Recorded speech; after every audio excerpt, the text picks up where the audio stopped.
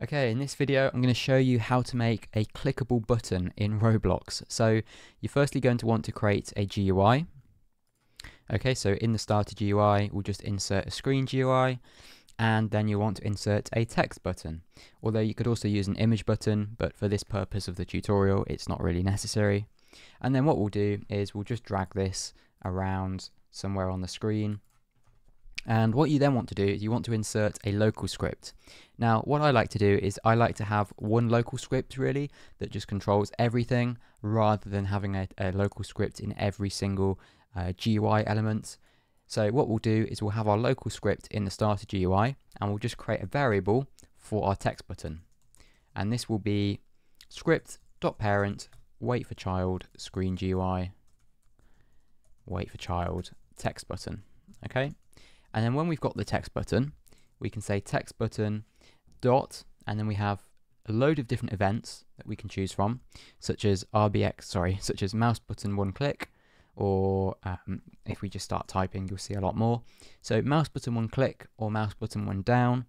When you press down the mouse button, this one will fire. When you let go, the mouse button one click will fire. So that's the difference between them. So we're going to do a mouse button one click. Mouse button 1 is just a left button on your mouse. It will also fire if you tap on a mobile device, so don't worry about that.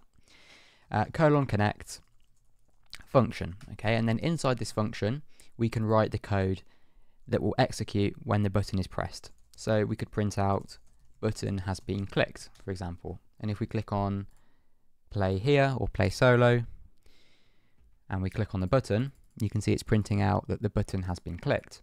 But this doesn't really do anything. It's quite basic. So how can we make this a little bit more um, functional?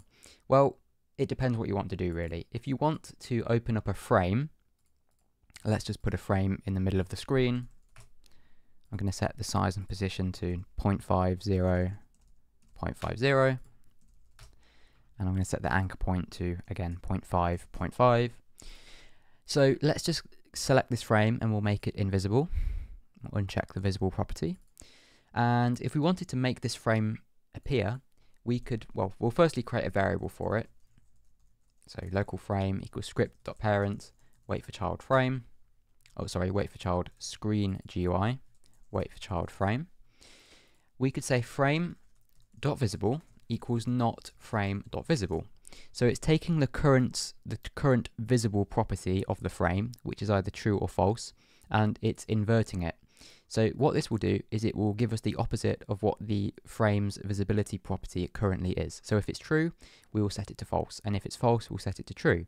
So we're essentially just toggling it. Now if we play the game again, you'll notice that when we press the button, the frame appears, and when we click it again, it goes away. So this is how pretty much every menu system in Roblox works. The, the GUI is always there, the frame is always there. It just gets uh, it just gets hidden or shown depending on the status of the visible property, which we're changing via the button. So we've we've stepped it up a little bit there. We've we've made the the frame uh, actually be a bit more interactive. Um, well, we've made the button more interactive by opening and closing the frame. Perhaps now we should actually change the text of the button to say open and then in our local script, we want to change this text depending on whether the frame is visible or not. So underneath here, we'll just create a, uh, we'll say text button dot text equals, and this text is either going to be open or it's either going to be closed, right? But how do we set this depending on the frame's visibility? Well, it's quite similar to how we've just done the frame dot visible. We'll say frame dot visible and open or close. And what this means is, this is going to return a true or false value, depending on whether the frame is visible or not. If it's true, then it's going to, we're going to return open, because when a statement is true, we want this to be returned. Otherwise, if it's false, if it's not true, then it will return close. This is almost like a mini function. We have a condition, which can either be true or false, which is whether the frame is visible or not.